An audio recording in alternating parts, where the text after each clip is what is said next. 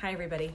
So, I had a request to talk about beauty throughout the decades of life and what you can do to kind of um, maintain your looks and to look your best.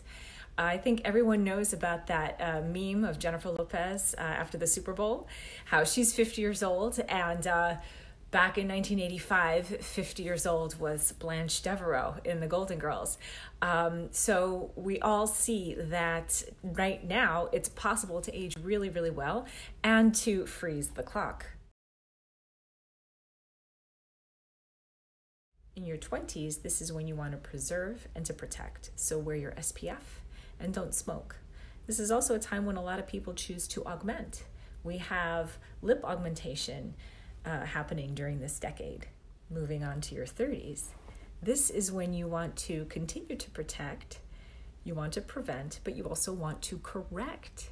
We start seeing our first fine lines and wrinkles during this decade. We also see some fat pad atrophy, so we see some hollowing around the eyes and some dropping of the cheeks. So, this is when people are pursuing Botox and filler injections for the first time.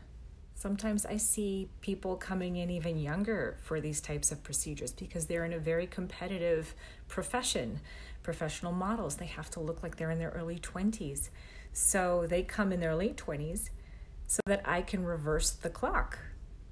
Now, in the 40s, 50s, and 60s, this is when you need to replenish, you need to restore, and you need to balance. You need quite a lot of filler in this decade. So, depending on how many syringes you get for each visit, I'm usually seeing a patient in their 40s and 50s at least once to twice a year for filler and once a year for their tox. This is also when you need to restore the skin with laser procedures. Also, investing in a really good skincare regimen that includes antioxidants and retinoids.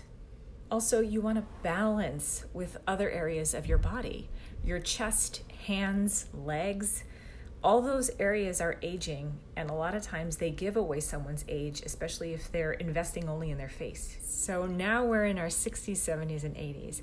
And if you have followed these steps in the decades before, you usually just need some skin tightening.